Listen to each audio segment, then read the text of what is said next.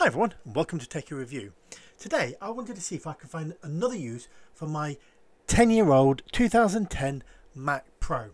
Now what I wanted to do to see if I could install a VMware ESXi virtualization server and then create some virtual computers for little projects and little things I want to mess around with. So in this video we're going to install VMware ESXi and see if we can get it working. Now I'll leave the specs to my Mac Pro in the description below. So without further ado, let's dive in. So the first thing you need to do is download a copy of VMware ESXi from their website and create a bootable USB stick. Now I'll leave links to that in the description below. Once you've done that, you need to boot your Mac Pro and you'll get the screen that you're seeing now. And this is going to start loading the installer for you.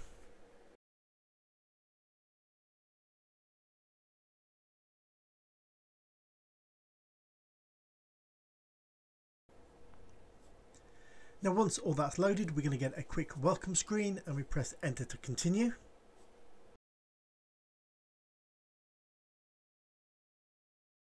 And then we agree to the end user license and continue and then it's just going to start scanning your hardware to make sure it's compatible.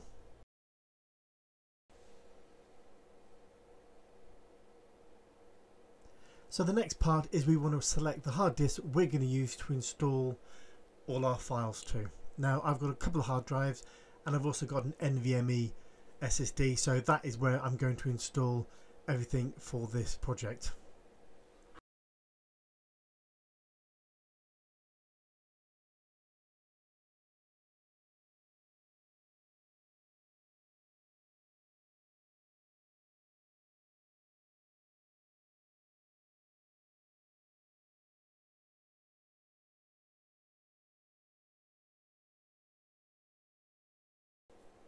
So here we want to create our root password. Now this is going to be used to log in once everything's been installed.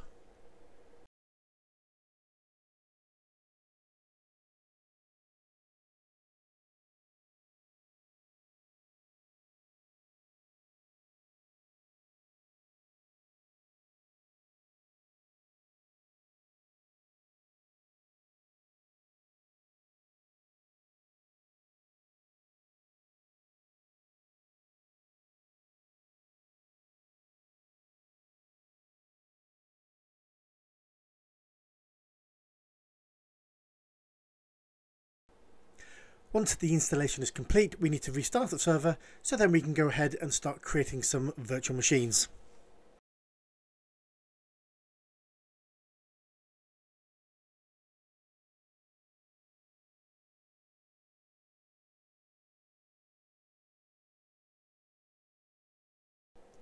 Now that everything's rebooted, we need to note down this IP address as this is how we're going to connect from our Windows PC and actually create and administer this server. Okay, so we've jumped onto our Windows PC and gone to Chrome and we're going to type in the IP address.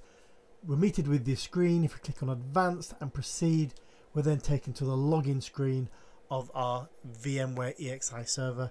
And if we type in the username as root and the password which we created earlier in the video, we then can get into this console where we can then start to create some virtual machines, upload our ISOs and play around a little bit. So on this first screen here we can actually see the spec of the 2010 Mac Pro.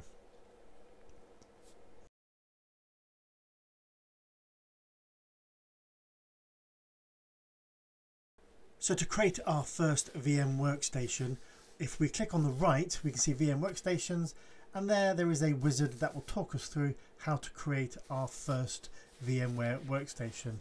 It's fairly easy, and it's just a case of entering a little bit of information, selecting the OS we want to install, and away we go.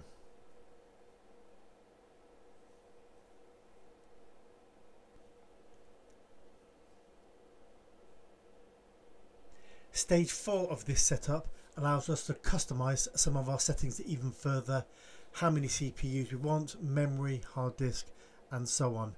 Now with limited resources on the actual server itself, I've kept things fairly low here. Once we're happy with what we've selected, we can click next. There's a quick overview and we can click finish.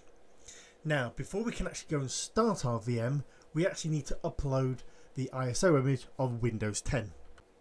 Now to upload your ISO image, you need to go to the data store you've created and then the data store browser. And from there, what you can do is actually browse your local machine for your ISO and then upload it. So I have got a Windows 10 folder here. I've also got a Linux folder and you can still see the ISO in there. But we're going to install the Windows 10 ISO here. And then we select upload and then browse our PC or our local PC for the actual ISO image we need and then upload. Now at the bottom here you can see the progress indicator showing you your ISO file uploading to your ESXi server. Once that's done we can then assign that ISO to your new virtual machine and start installing Windows. Once the ISO has been uploaded we just need to edit our virtual machine and tell it that the CD-ROM drive is now going to be this Windows 10 ISO. Next we want to power on and connect to our workstation or our virtual machine so we can start installing Windows.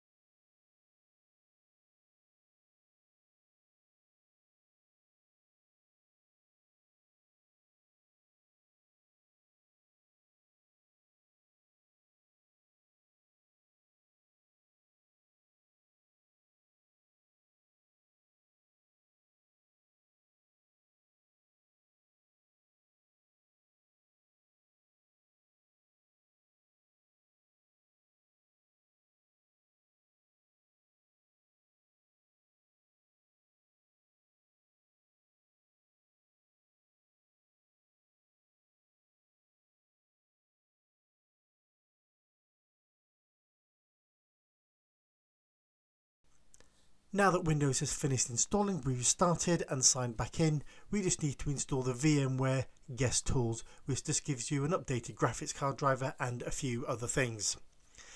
Now this virtual machine isn't going to be particularly fast because I've only assigned 4 gig of RAM. My Mac Pro has only got 16 gig of RAM, so if you've got more in yours, you can certainly assign more resources to your virtual machine. Once this is done, you have a fully functioning virtual Windows 10 PC to do whatever you like with.